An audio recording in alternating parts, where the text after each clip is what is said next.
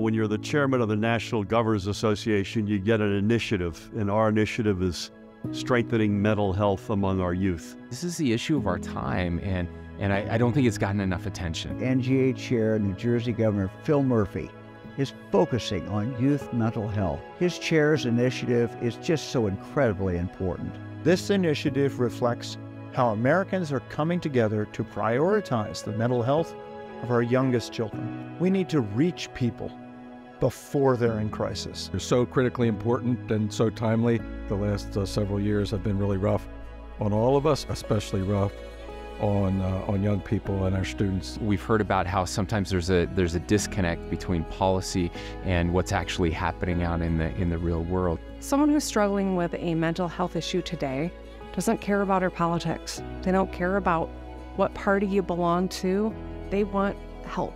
This is an issue that kids face in every state in the country, and how we can make sure that kids have the support structures they need to be able to succeed is so important. It doesn't matter if it's a blue state, a red state, a purple state, we've got huge challenges. What we should be doing is making sure that our policies are supporting the institutions that will strengthen families and, and help our youth. You need good ideas and you need proven systems that work. And so the fact that Governor Murphy is bringing experts in to help educate us, to help make sure all the governors have access to this information so we can pass policies in our respective states to meet the needs of our young people is critically important. Protecting our kids is our most sacred obligation as parents and as policymakers. You know, as we land this July in Atlantic City, having gone around the country Salt Lake City, Utah, Santa Monica, California, Detroit, Michigan, Philadelphia, Pennsylvania and lots of work in between, I'm incredibly proud that we will be able to present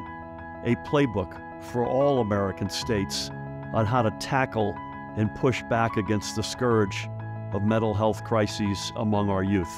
Everyone is looking for a clear, succinct way to bring mental health resources to scale. And I think a playbook would allow us to come together ensure that we have the best minds and best resources on this important topic. That's why we're proud to support Governor Phil and First Lady Tammy Murphy's CHAIRS initiative to strengthen youth mental health. This initiative is helping bring together states and governors from across the country so we can work together on an issue that is of critical importance to Americans from all walks of life. I think that this playbook is going to be just what we need to help galvanize both the advocacy community and state leaders, parents, and educators, and all those who come in contact with youth to be able to move this field forward and make sure that young people are getting the care that they need. It's a full year's worth of work, uh, and we believe that it has all of the elements that any American state needs and can deploy to get the mental health of our precious young people as strong as it possibly can be. I could not be more proud or happier to present that playbook.